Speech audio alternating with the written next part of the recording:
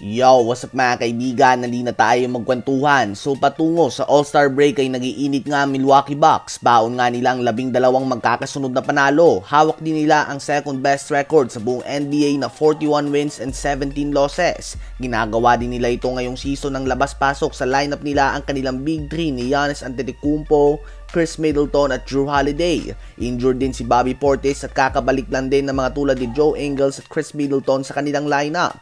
Hindi din makatodo mga kaibigan si Middleton. Lagi nga siya nanggagaling sa bench at hindi pa siya naglalaro ng higit pa sa 25 minutes. Overall, solid nga ang support system ni Giannis sa team na ito. Ang mga tulad nila Pat Connaughton, Mamu at Grayson Allen ay mga solid role players nga na kailangan ng bawat team na nais na magkampiyon. Si Brook Lopez ay mala all-star din ang pinapakita at dinagdag pa nga nila si Jay Crowder na isang veteran 3 player.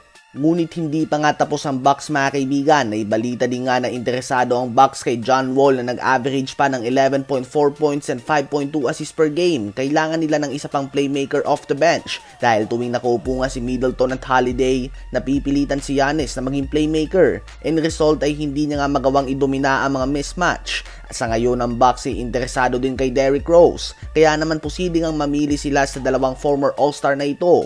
Kung ikaw ba ang Bucks, sino ba ang mas gugustuhin mo, si John Wall o si Derrick Rose? Ngayon ay tumungo naman tayo kay Anthony Davis. So ngayon nga ay madaming speculation tungkol sa posibleng paghingi na ng trade sa Los Angeles Lakers. Isa sa mga teams sa sinasabi na posible niyang patunguhan ay ang Dallas Mavericks. Madami nga ang rumors tungkol sa paghingi niya ng trade ngayong off-season. Ganun pa man ay 100% pa nga din umano na gustong manatili ni AD sa Lakers ayon kay Brian Windhorst ng ESPN. Well, si AD nga ay may dalawang taon pa sa kanyang contract at sa huling taon nito ay may player option siya. Ibig sabihin ay pwede nga siyang pumasok sa free agency kung gugustuhin niya. Sa sahod pa nga mga kaibigan si AD ng 40 million next season at 43 million sa sunod kung sakali na gustuhin niyang manatili sa Lakers. Next season ay may edad na si AD na 30 years old. Kadalasan ay ito na nga ang peak ng prime ng mga players. Subalit si AD ay pabagsak nga ang kanyang stats habang tumatagal at malaking dahilan dyan ay ang kanyang mga injuries. Ano ba masasabi nyo tungkol dito? Habang si Kevin Durant naman na bagong trade pa lamang sa Phoenix Suns, sinabi niya nga na hindi pa siya sigurado sa future niya sa team na ito. Hindi niya nga daw alam kung mananatili ba siya dito for the long run. Ganun din nga daw ang sinabi niya sa Brooklyn Nets noon. Well at least nga ay hindi pa bebing sagot ang nakuha natin kay KD at naging totoo siya.